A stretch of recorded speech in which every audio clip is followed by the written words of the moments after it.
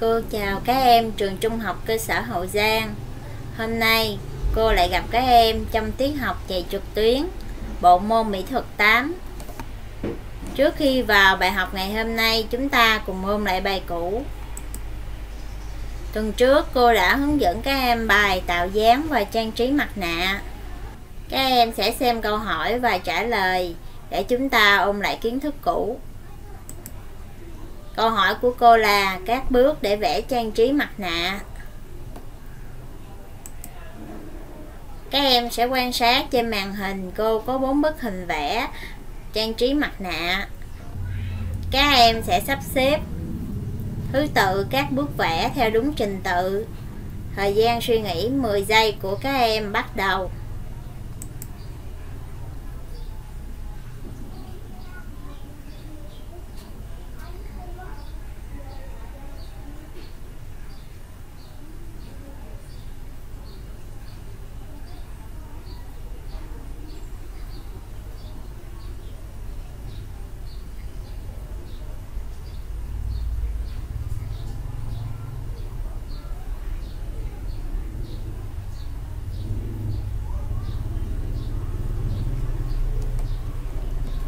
đã hết thời gian suy nghĩ.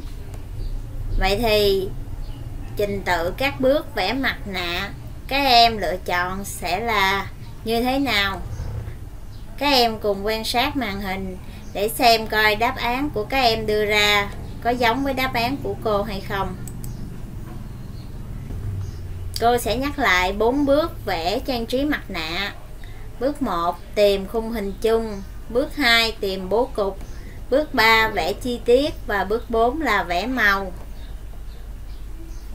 Sau phần ôm lại kiến thức cũ của cô, thì cô tin chắc rằng các bạn sẽ nhớ lại trình tự để chúng ta vẽ và trang trí một chiếc mặt nạ. Và tiếp theo sau đây, chúng ta sẽ cùng chơi một trò chơi khởi động để trước khi vào bài học ngày hôm nay. Trò chơi khởi động của cô sẽ có tên là điền từ vào chỗ trống. Cách chơi là học sinh sẽ tìm từ ngữ thích hợp điền vào chỗ trống theo gợi ý hình. Thời gian là khi thanh hình chữ nhật chạy hết màu vàng, học sinh nào tìm ra được đáp án chính xác và nhanh nhất sẽ là người chiến thắng. Các em đã sẵn sàng chưa? Chúng ta bắt đầu vào trò chơi ngày hôm nay. Các em sẽ quan sát cô có bốn bức ảnh chụp hình các nhân vật đeo mặt nạ. Các em sẽ điền đáp án và những dấu chấm dựa vào hình các nhân vật cho phù hợp. Cô có mặt nạ múa tôn chum mặt nạ tuồng cổ, mặt nạ lễ hội Veni mặt nạ Halloween. Các em sẽ có thời gian suy nghĩ. Khi thanh hình chữ nhật xuất hiện màu vàng và đoạn màu vàng chạy hết thanh hình chữ nhật là khi đó thời gian sẽ kết thúc. Các em đã sẵn sàng chưa? Chúng ta bắt đầu trò chơi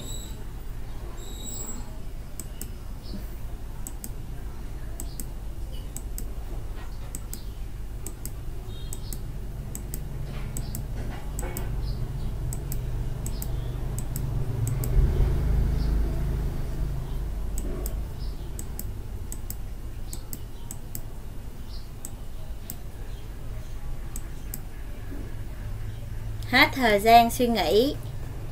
Chúng ta cùng quan sát đáp án. Đầu tiên, cô sẽ chúc mừng tất cả những học sinh nào đón trùng đáp án với đáp án của cô. Còn những bạn chưa trùng khớp thì các em sẽ cố gắng nhiều hơn ở những trò chơi khác. Qua trò chơi ngày hôm nay thì các em thấy được rằng chiếc mặt nạ có rất là nhiều công dụng trong đời sống hàng ngày. Mặt nạ có thể được sử dụng nhiều trong các dịp lễ hội, cũng như mặt nạ được dùng trong các loại hình nghệ thuật biểu diễn. Vậy thì cụ thể ngày hôm nay, cô sẽ giới thiệu với các em nét đặc sắc của mặt nạ tuồng cổ ở nước ta. Đây là loại hình nghệ thuật được công nhận là di sản văn hóa phi vật thể. Chúng ta cùng nhau tìm hiểu vào bài học ngày hôm nay.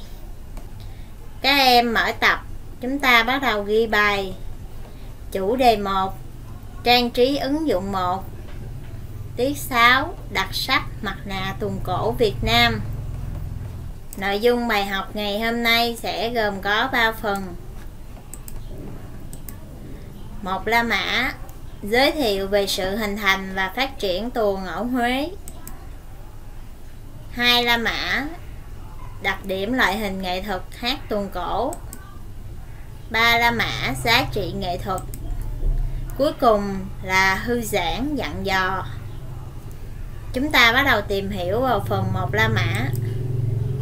Sự hình thành và phát triển của loại hình nghệ thuật hát bội. Ở đây hát bội còn có rất nhiều tên gọi. À, các em có thể gọi là hát bộ hoặc hát tuồng cổ.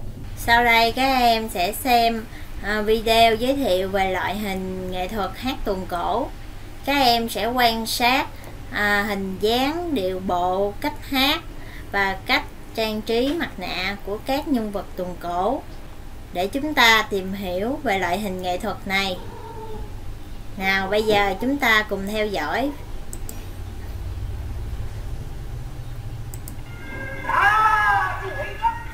Sân Hậu, một trong những vở tuồng kinh điển của nghệ thuật tuồng Việt Nam. Thông qua hệ thống nhân vật trong vở tuồng này đã khắc họa được sự độc đáo của việc hóa trang mặt nạ.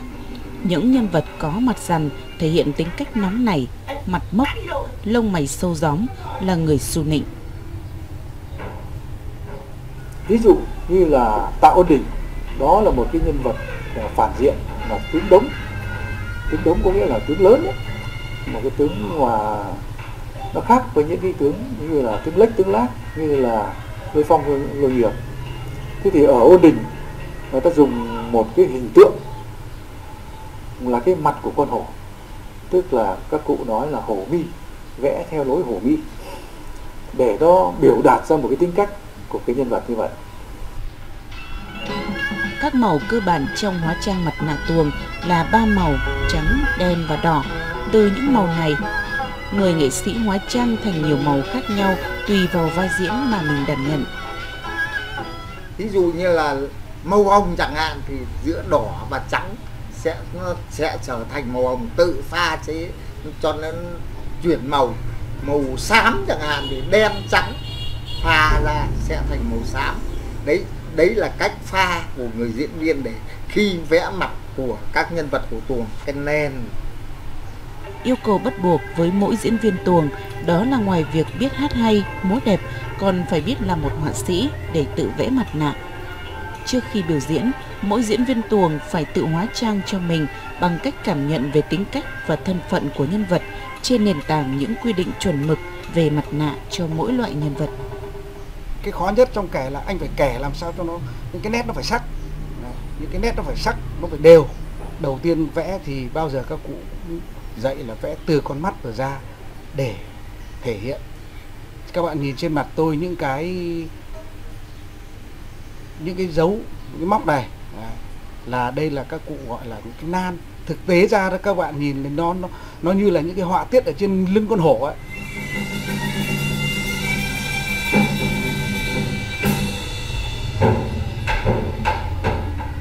Tuồng mang tính cổ điển khi phần lớn các vở diễn được xây dựng dựa theo những tích truyện lịch sử mang tính khuôn mẫu.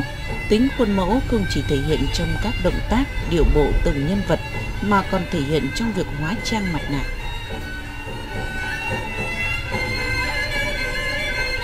qua đoạn video các em vừa theo dõi phần nào cũng giúp các em hiểu sơ lược về loại hình nghệ thuật này chúng ta sẽ tiếp tục tìm hiểu chi tiết hơn vào nội dung bài sơ lược về sự hình thành và phát triển tuồng ở Huế thì nguồn gốc từ thời xa xưa Việt Nam và Trung Quốc do là hai nước láng giềng luôn có nhiều điểm tương đồng về văn hóa, tôn giáo, tư tưởng, đạo lý và đương nhiên cả về nghệ thuật, cụ thể là kinh kịch và hát bội. Ở nước ta, loại hình nghệ thuật hát bội gần giống với kinh kịch của Trung Quốc. Vào thế kỷ thứ 12, quân ta đại thắng quân Nguyên Mông ở trận Tây Kết và bắt được một kép hát người Tống hắn được giữ lại và lập một ban múa hát để mua vui cho nhà Trần. Đây là hình ảnh một đoàn hát tuồng xưa. Hình ảnh các diễn viên hát tuồng cổ. Lúc bấy giờ tuồng cổ chỉ được biểu diễn ở trong cung đình. Loại hình hát bội ở nước ta giống với loại hình kinh kịch ở Trung Quốc. Vậy thì chúng ta sẽ tìm hiểu kinh kịch là gì? Ở đây kinh kịch sẽ là loại hình nghệ thuật, là một thể loại ca kịch của Trung Quốc, hình thành và phát triển mạnh tại Bắc Kinh vào thời vua Càn Long của vương triều nhà Thanh, được coi là nghệ thuật tinh túy là quốc bảo hay có cái tên là ca kịch phương Đông. Kinh kịch của Trung Quốc thì ra đời trước và ở nước ta ra đời sau, vì vậy à, loại hình hát bội của nước ta sẽ có một phần nào đó giống với loại hình kinh kịch của Trung Quốc thì tùy theo đặc điểm của từng nước thì sẽ có sự khác biệt về cách hát, cách hóa trang nhân vật. Đây là hình ảnh những diễn viên à, hát kinh kịch ở Trung Quốc. Các em sẽ quan sát à, trên gương mặt sẽ được trang điểm vẽ mặt nạ so với hát bội ở nước ta thì sẽ có một phần giống và cũng sẽ có phần khác. Đối với loại hình nghệ thuật hát tuồng cổ ở nước ta thì hai người các em cần phải biết và phải nhớ đó là ông đào di từ và ông đào tấn. Đào di từ là người có công đầu trong việc phổ biến và phát triển nghệ thuật hát bội ở đàn trong. Còn đào tấn là người đưa hát bội trở thành nghệ thuật hàng lâm khi chú trọng phát triển theo hướng văn chương bác học thì Đào Duy Từ và Đào Tấn là người có công phổ biến phát triển đưa hát bội trở thành loại hình nghệ thuật ở nước ta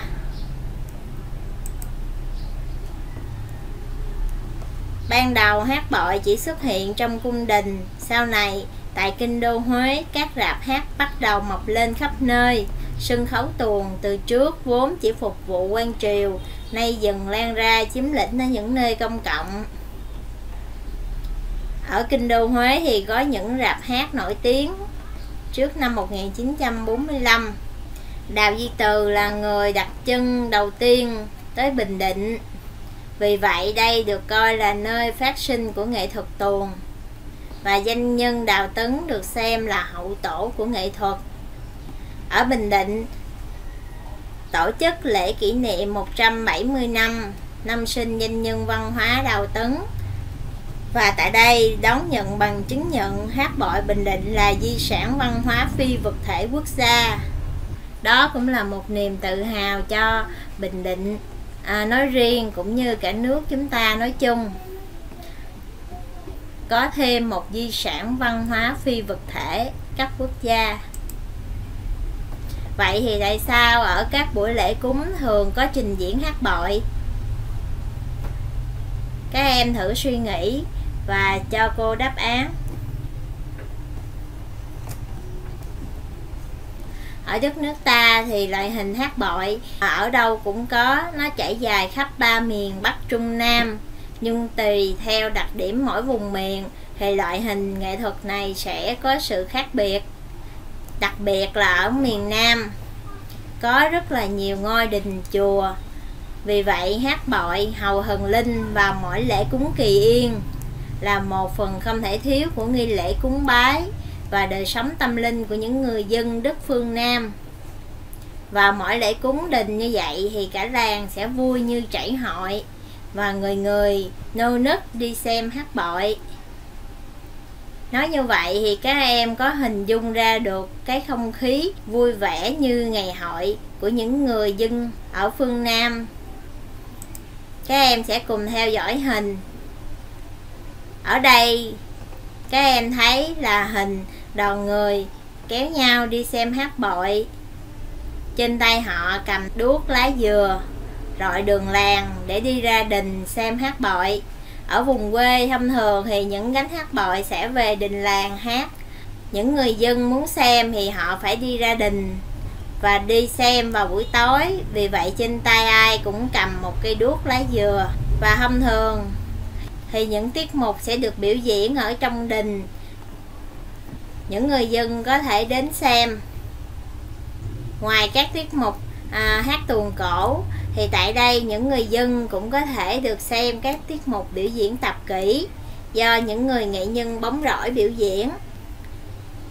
Các em thấy trên màn hình, đây là ba người nghệ nhân biểu diễn tập kỹ nâng đồ vật bằng nhân trung.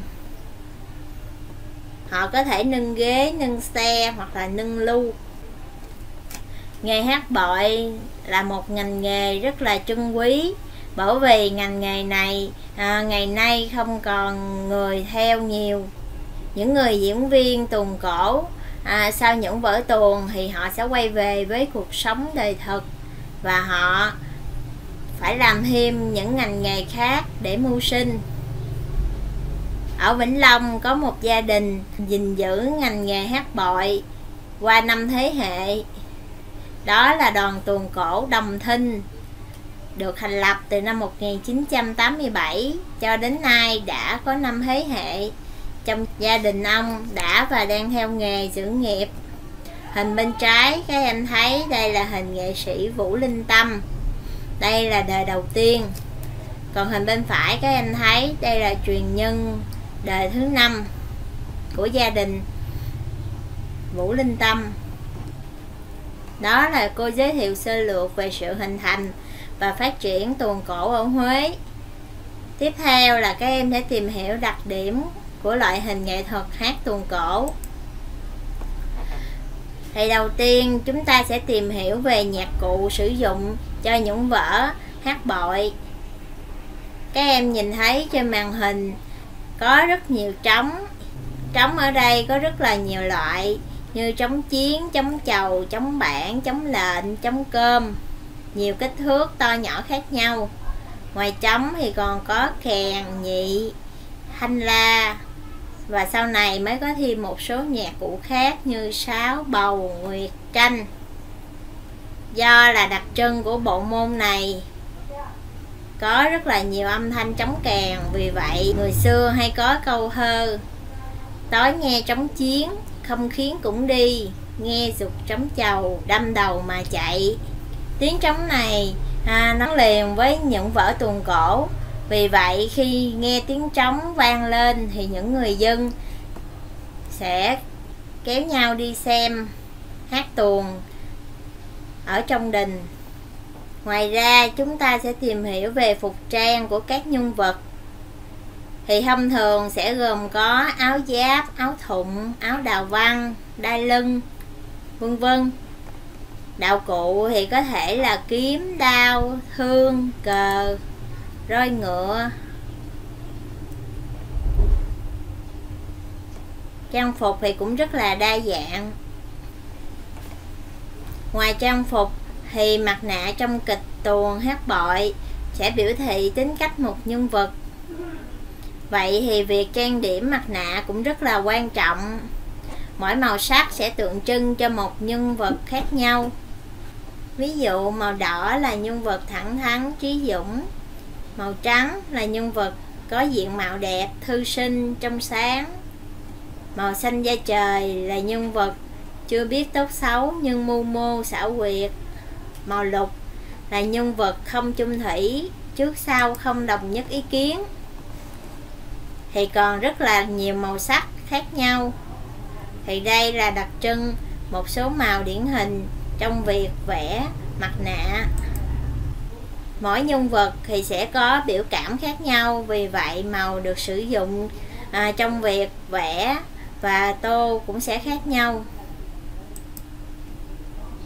Ngoài việc vẽ à, màu sắc thì những người diễn viên tuồng cổ còn chú trọng tới việc à, vẽ chân mày vẽ râu cho phù hợp với tính cách của nhân vật những nhân vật trong tuồng cổ thì có rất là nhiều biểu cảm, hỉ nộ, ái ố gian thần, trung thần, vân vân. Thì tùy theo tính cách nhân vật mà những người diễn viên tuồng cổ phải biết tự tìm tòi và họ phải tự biết cách vẽ mặt cho mình.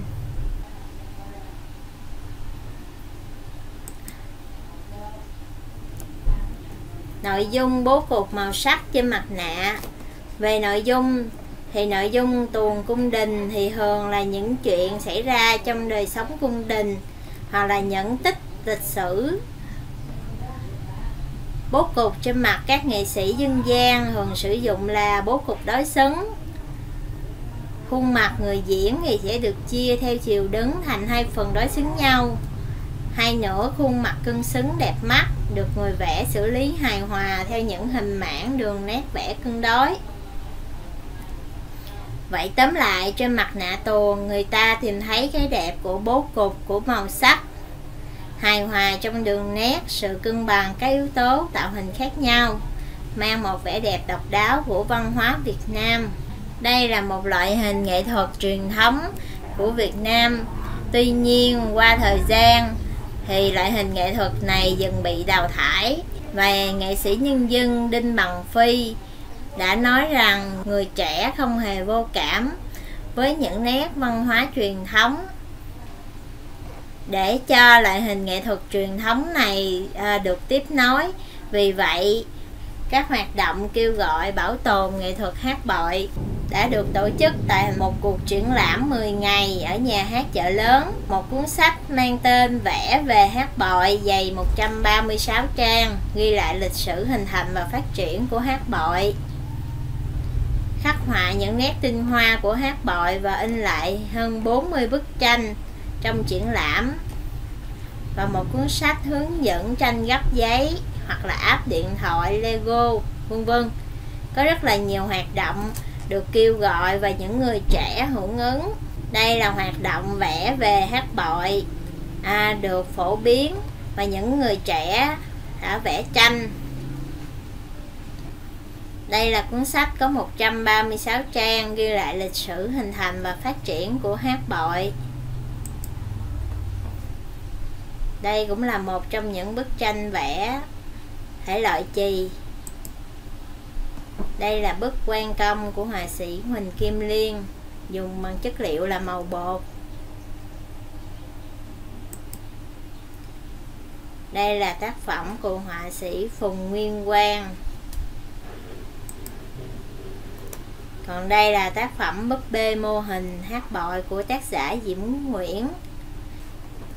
Đây cũng là tác phẩm tranh được vẽ bằng thiết kế đồ họa của Nguyễn Đức Huy.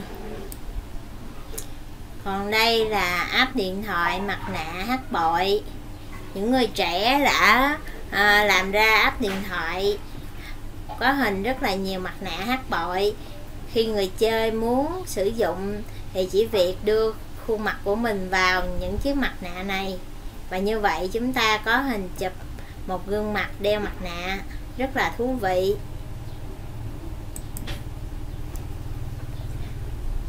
Như vậy cuối cùng, các em sẽ tìm hiểu giá trị nghệ thuật của loại hình hát tuồng gỗ này. Nghệ thuật hát bội. Ở đây hay còn gọi là hát bộ, tuồng luông tuồng là một loại hình nghệ thuật sân khấu truyền thống lâu đời trong kho tàng văn hóa dân tộc của người dân Việt Nam.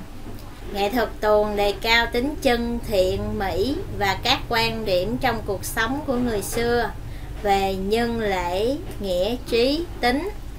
Đó là giá trị nghệ thuật. Vậy thì sao bài học ngày hôm nay cô muốn giới thiệu đến với các em nét đặc sắc của loại hình tuồng cổ Việt Nam. Và cô tin rằng là thông qua tiết học ngày hôm nay thì tất cả các em cũng sẽ có cái nhìn mới về loại hình nghệ thuật này. Vậy thì cuối cùng chúng ta sẽ thư giãn trước khi kết thúc tiết học. Các em sẽ cùng xem một video về việc biến đổi mặt nạ nhiều lần trong thời gian ngắn. Chúng ta sẽ cùng nhau theo dõi các em sẽ tập trung vào nhân vật biểu diễn biến đổi mặt nạ.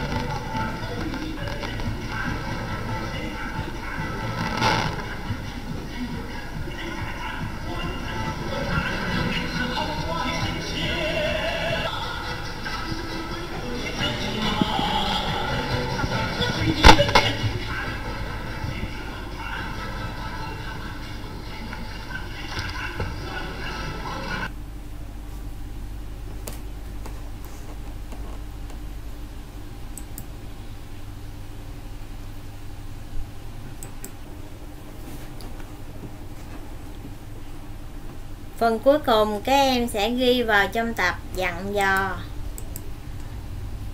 Các em sẽ hoàn thành bài vẽ. Đối với bài ngày hôm nay thì các em sẽ vẽ cho cô một chiếc mặt nạ tuồng hát bội. Về màu sắc, biểu cảm, nhân vật, các em sẽ tự vẽ theo ý thích của bản thân. Các em xem trước bài cho tuần sau, đó là trang trí liều trại tiết học của ngày hôm nay đến đây là kết thúc. Cô cảm ơn các em đã lắng nghe và hẹn gặp lại các em ở tiết học sau. Và các em nhớ trước khi kết thúc tiết học thì chúng ta làm bài tập điểm danh theo đường link của nhà trường. Nội dung trong bài tập điểm danh thì cũng là kiến thức nãy giờ cô đã giới thiệu cho các em. Và cô tin rằng các em sẽ làm tốt bài tập điểm danh và cuối cùng cô chào tạm biệt các em.